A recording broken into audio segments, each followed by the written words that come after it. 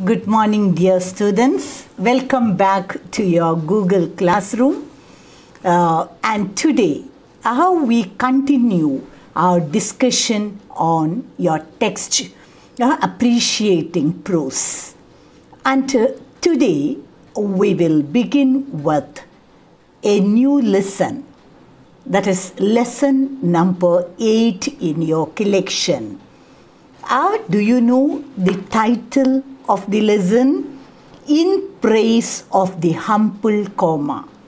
Uh, and uh, uh, it is uh, a lesson by an essay by Siddharth Pico Raghavan Iyer, who is usually called Pico Iyer. And so uh, today, uh, welcome to the discussion on Pico Iyer and his work in praise of the humble comma. Uh, and before beginning with the text, uh, see, you all have the text with you, I suppose. Uh, and so please take lesson number eight and keep it open before you. After giving an introduction, after giving you an overall idea of the lesson, I will be reading the important lines from the text. Okay, and so keep your text open before you take lesson number 8 in praise of the humble comma. Uh, it's an essay by Pico Iyer. Uh, and uh, we won't be reading the text completely, but we will be discussing all the points. We will be evaluating the essay from different angles. We will critically evaluate it uh, and we will be reading lines from the text after that. Uh, and so, uh, now let me introduce the author first. Uh, have you heard uh, the name Pico Iyer? Are you familiar with this essayist? Most probably not. Uh, but Siddharth uh, Pico Raghavan Iyer, uh, who is he then? He is a journalist, essayist, travel writer, and novelist. Okay, you got it? Pico Iyer is a great journalist, essayist, travel writer, and novelist. Uh, he was born in 1957. Uh, that is now he is 63. Uh, he is born in Oxford, Oxford, the university city in England, as the son of Indian parents. Understood? Uh, he was born of Indian parents but in England. Indian parents who were settled in England. In which year? In 1957. And his father was Raghavan N. Iyer. He was an Oxford philosopher and political theorist. And the mother was Nandini Nanak Mehta. She was a religious scholar. Understood? His father was an Oxford philosopher and a political theorist, and his mother, Nandini Nanak, was a religious scholar. Both his parents grew up in India and then went to England for tertiary education. And then uh, you will be wondering at the unusual name Siddhartha Pico Raghavan Uh, and so his unusual name is actually a combination of the Buddha's name. Uh, Buddha's name is Siddhartha Buddha, isn't it? And so Siddhartha, Siddhartha comes from Buddha and Pico from the Italian Renaissance humanist Pico della Mirandola. Understood? And then uh, Raghavan Iyer is his father's name. And so uh, this unusual name Siddharth Pico Raghavan Iyer is a combination of Buddha's name Siddhartha. And Pico is from the Italian uh, Renaissance humanist um, Pico della Mirandola. And Raghavan is his father's name. And then and so uh, this uh, um, Pico we can comfortably call him Pico even though the full name is Siddhartha Pico Raghavan And this um, Pico father got a permanent po position in California when he was seven years, when the boy was seven years old. When the boy Pico was only seven years old and then the family shifted to California. And uh, Pico Iyer, at that time he was studying in England. And so for the next 10 or 12 years, he was constantly shuttling between uh, California and England. And uh, uh, did his tertiary education at the prestigious Oxford and Harvard University. A Paka scholar he was.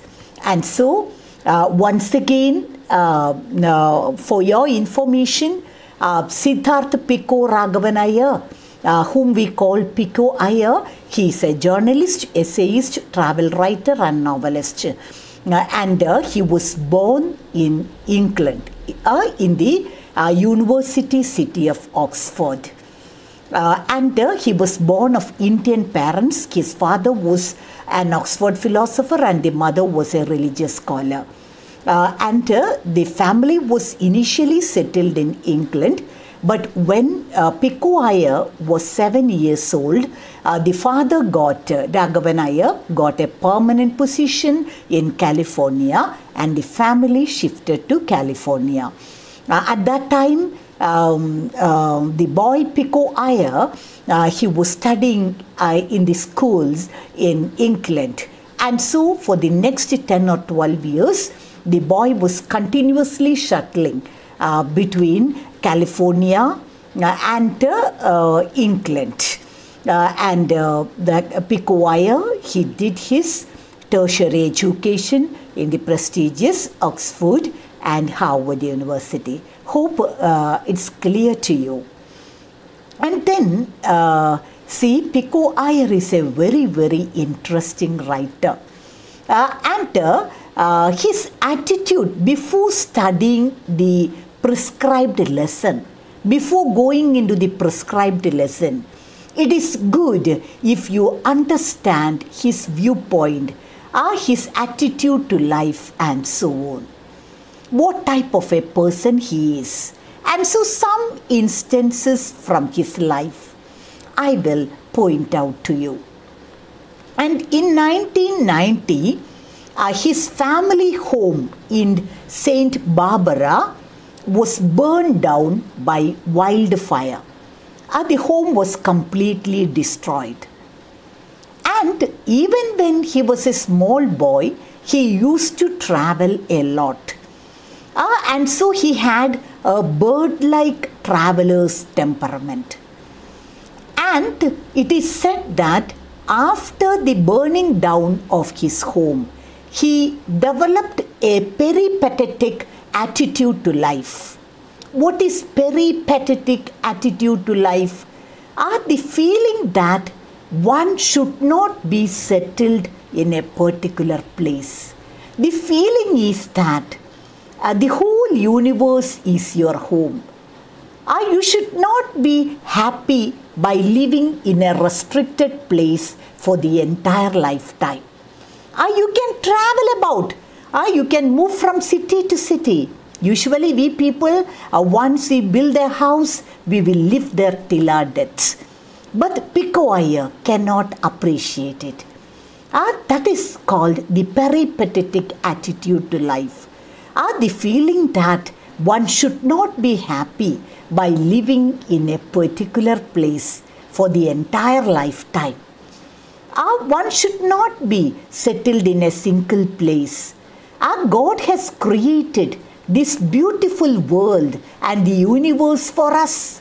Why should be why should we be happy with a single place alone. After living for some time in a certain place, you can go to another place and live there for so many years. Again, you can change the place. Uh, that is peripatetic attitude.